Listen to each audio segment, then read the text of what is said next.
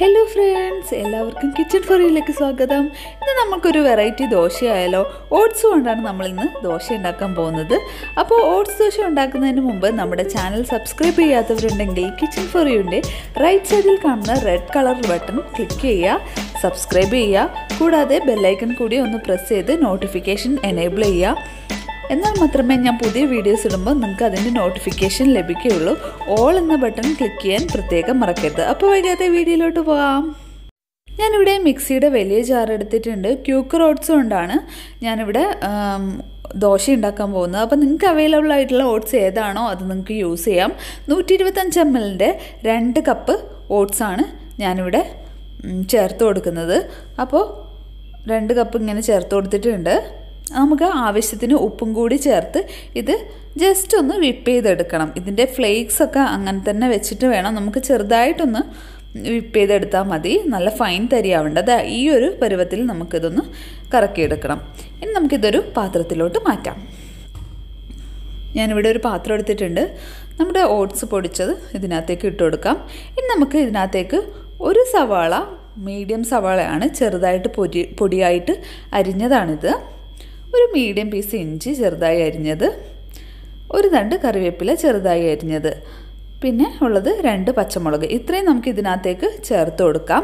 അപ്പോൾ നിങ്ങൾക്ക് കറിവേപ്പില ഇല്ലെങ്കിൽ കുറച്ചുകൂടി ടേസ്റ്റ് ആവാം. മല്ലിയില ആയിരിക്കും. അപ്പോൾ മല്ലിയിലയുടെ ടേസ്റ്റ് ഇഷ്ടമുള്ളവർ മല്ലിയില ചേർത്ത് കൊടുക്കുക. ഒരു കാൽ ടീസ്പൂൺ മഞ്ഞൾപ്പൊടിയും കൂടി ചേർത്ത് നമുക്ക് വെള്ളമൊഴിച്ച് ഇത് നന്നായിട്ട് ദോശയുടെ ബാറ്ററാക്കി എടുക്കണം. അപ്പോൾ നമുക്കിത് നന്നായിട്ടൊന്ന് മിക്സ് ചെയ്ത് കൊടുക്കാം. ശേഷം നമുക്ക് ആവശ്യത്തിനുള്ള വെള്ളം ഒഴിച്ച് നമുക്ക് ദോശ ബാറ്റർ സാധാരണ നമ്മുടെ ദോശ ബാറ്റർ ഇല്ലേ അതുപോലെ നമുക്ക് പ്രിപ്പയർ ചെയ്തെടുക്കണം. അപ്പം ഞാൻ ഇതുപോലെ ഒന്ന് ദോശ ബാറ്റർ തയ്യാറാക്കി എടുത്തിട്ടുണ്ട്.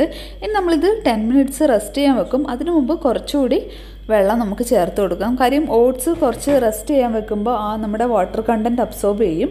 അപ്പോൾ ഇതാ ഞാൻ ടെൻ മിനിറ്റ്സ് റെസ്റ്റ് ചെയ്യാൻ വെച്ചിട്ട് ഇത് ഈ ഒരു കൺസിസ്റ്റൻസിയിലാണ് നമ്മൾ ബാറ്റർ തയ്യാറാക്കി എടുക്കുന്നത്. ഇതുപോലെ ഒരു പാൻ അടുപ്പിൽ വെച്ചിട്ട് നമുക്ക് നന്നായിട്ട് ചൂടായി വരുമ്പോൾ ബാറ്റർ നമുക്ക് ഒഴിച്ചു കൊടുക്കാം. ഞാൻ ഒരു തവ ബാറ്റർ എടുത്തിട്ട് ഒഴിച്ചു കൊടുക്കുന്നുണ്ട്.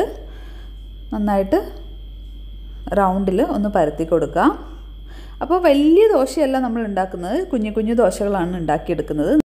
മൂടി വെച്ച് നമുക്കിതൊന്ന് വേവിച്ചെടുക്കണം. അപ്പോൾ നമ്മുടെ ദോശയുടെ ഒരു സൈഡ് വെന്ത് കഴിഞ്ഞാൽ നമുക്കിതൊന്ന് തിരിച്ചിട്ട് കൊടുക്കണം. അതിന് മുമ്പ് ഞാനിവിടെ കുറച്ച് എണ്ണ തൂവി കൊടുക്കുന്നുണ്ട്. അപ്പോൾ നിങ്ങൾക്ക് എണ്ണ ഇഷ്ടമല്ല നെയ്യ് ഇഷ്ടമുള്ളവരാണെങ്കിൽ കുറച്ച് പശു നെയ്യ് ഇതിന്റെ മുകളിലേക്ക് ഇങ്ങനെ തൂക്കി കൊടുക്കാം അപ്പോൾ നെയ്യൊക്കെ ഒഴിക്കുന്ന സമയത്ത് നമ്മൾ ദോശയ്ക്ക് ഒരു പ്രത്യേക സ്മെല്ലും ടേസ്റ്റും ഒക്കെ ആയിരിക്കും. ഞാനിപ്പോൾ ഇവിടെ ഓയിലാണ് ഒഴിച്ചു കൊടുത്തേക്കുന്നത്. നമുക്കിതൊന്ന് തിരിച്ചിട്ട് കൊടുക്കാം. രണ്ട് വശവും വെന്ത് കഴിയുമ്പോൾ നമുക്ക് പാനിൽ നിന്നും ഇത് മാറ്റാം. അപ്പോൾ നിങ്ങൾക്ക് ഞാൻ ഇതുപോലെ എല്ലാം ചുട്ടെടുക്കാൻ പോവാണ്. ഓട്സ് പാലിലൊന്നും കഴിക്കാൻ ഇഷ്ടമില്ലാത്തവർ ഇതുപോലെ വെറൈറ്റീസ് ട്രൈ ചെയ്ത് കഴിക്കാൻ നോക്കുക. അപ്പോൾ നമ്മുടെ ദോശയെല്ലാം ഇവിടെ ഇതുപോലെ റെഡി ആയിട്ടുണ്ട്. ഇത് കാണാൻ തന്നെ വളരെ ഭംഗിയാണ് കേട്ടോ. വളരെ ഭംഗി മാത്രമല്ല വളരെ ടേസ്റ്റി ആയിട്ടുള്ള വളരെ സോഫ്റ്റ് ആയിട്ടുള്ള ഒരു വെറൈറ്റി ദോശ.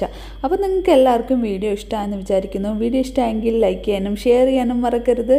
കൂടാതെ നമ്മുടെ ചാനൽ സബ്സ്ക്രൈബ് ചെയ്യാൻ ഞാൻ നേരത്തെ പറഞ്ഞു. അപ്പോൾ നിങ്ങളെല്ലാവരും ട്രൈ ചെയ്ത് നോക്കിയിട്ട് കമൻസ് അറിയിക്കുക. നല്ല അടിപൊളി വീഡിയോ ആയിട്ട് വീണ്ടും വരുന്നതായിരിക്കും. Take care and bye bye